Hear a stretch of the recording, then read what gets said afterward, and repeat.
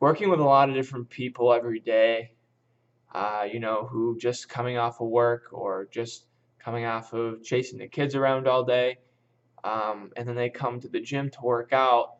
Um, I kind of notice something where you know people are just constantly moving all the time. I know you know this. You're probably experiencing it now, where you're just on the go, go, go, go, all the time, nonstop. And you know, this is what we call working out. When you work out, you come and it's it's stressful on your body, but it helps you burn fat. It helps you get stronger. You break down things. You break down muscle. You break down. You burn calories, right? You're breaking down, but you need a time to now recover apart from sleep, and it's what we call working in. And so working in can be so many different things. It could be reading a book. It could be walking in nature. It could be taking a yoga class. It could be, um, you know, just meditation.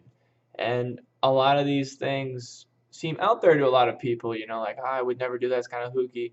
And the reality is, if you take the time to do it and let your mind rest, let your body rest, the benefits of that are almost just as much as exercising. I 100% believe that. I I could go find studies right now. Like I don't know if I can, you know, I guarantee there's studies that would prove it. I'm not going to go looking for them, but personal, my personal experience, I can tell you that being able to work in after having a long stressful week, after having to work out in classes and stuff, you need to take the time to work in, take care of your body, clear your mind um, and so the reason I'm saying this, we just got done a yoga class here.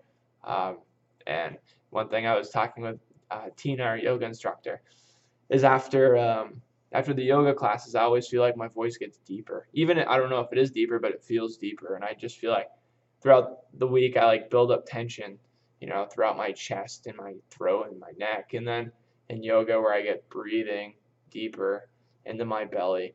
Um, and just stretching things out, my voice, you know, gets more hollow, it gets deeper.